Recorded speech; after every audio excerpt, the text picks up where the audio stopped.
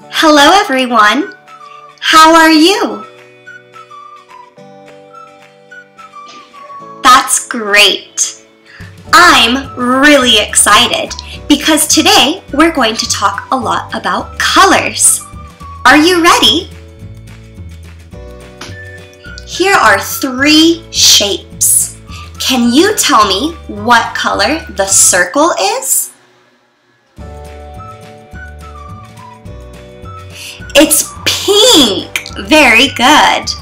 What about the triangle?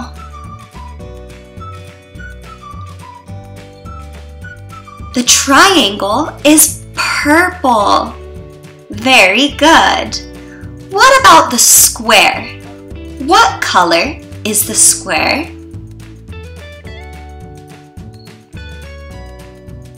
It's green. Great job! I'm going to give you three more shapes. Are you ready? What color is the heart?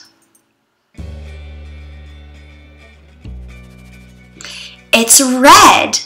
It's a red heart. What about the rectangle? What color is the rectangle? It's blue. It's a blue rectangle. And the last shape, what color is the star? It's yellow. Wow, great job. You really know your shapes and colors. Today, we're going to do a craft using our knowledge about shapes and colors we're going to make a colorful bird, just like this. But first, we need a couple of things. Make sure you have paper, crayons or markers, a pencil, a black marker,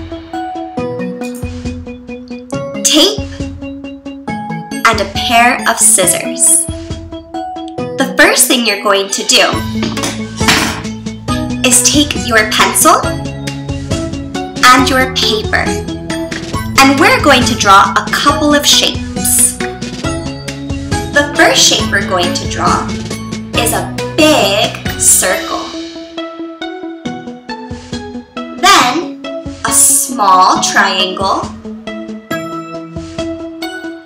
finally, a big oval.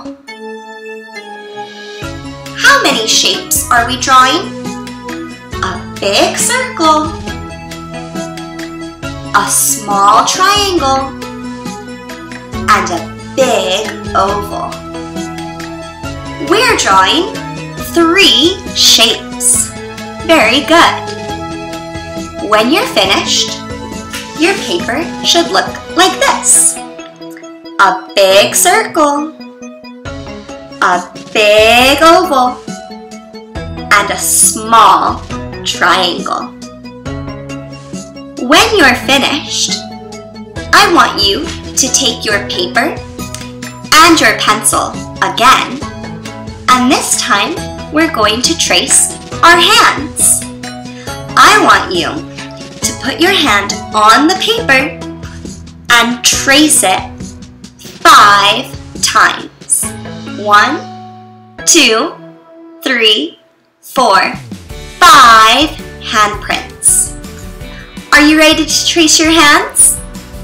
Let's go.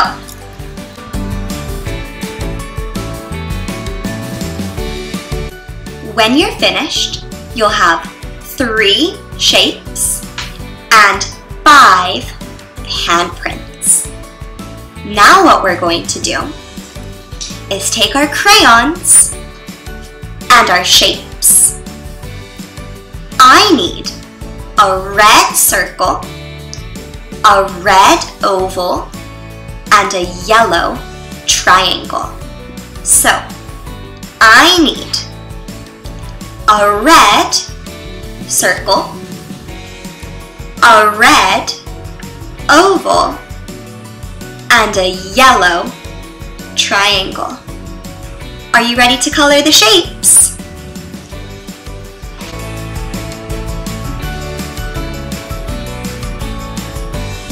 When you're finished, your shapes will look like this. Now what I want you to do is take your crayons and your handprints and we're going to color each handprint a different color. We're going to have one red handprint, one orange handprint, one yellow handprint, one green handprint, and one blue handprint. When you're finished coloring, your handprints will look like this. Red, orange, yellow, green, and blue. When you're finished coloring your shapes and your handprints, I want you to take a pair of scissors and cut everything out. Are you ready to cut?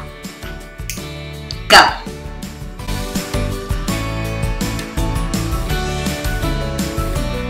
Now that we're finished cutting our shapes and our handprints, we're ready to start making our bird. The first thing I want you to do is take your tape and your shapes. You're going to take the red oval and the red circle. And I want you to put the red circle on top and to the side of the red oval like this. So take a piece of tape and tape it to the top of the red oval, like this. The next thing you're going to do is take your yellow triangle and put it on the red circle. So take a piece of tape and tape it to the red circle like this. Now what we're going to do is take our handprints and we're going to tape them to the bottom and move upwards. So the first handprint I want you to take is the orange handprint. I want you to place it upside down onto the bottom of your bird, like this. So take a piece of tape and tape the handprint to the bottom of your bird, like this. Next, we're going to take the yellow handprint and tape it to the bottom of our bird. Next, we're going to take the green handprint, then the blue handprint, our tape, and then finally we're going to place the red handprint on top. This is your bird's wing. So here we have our oval, our oval, our circle, our triangle, and our five handprints. But is our bird missing something? yes, his eyes. So I want you to take a black marker and draw an eye for your bird. Like this. And ta-da! That's it! Now you have a colorful bird. Great job today, everyone. Goodbye.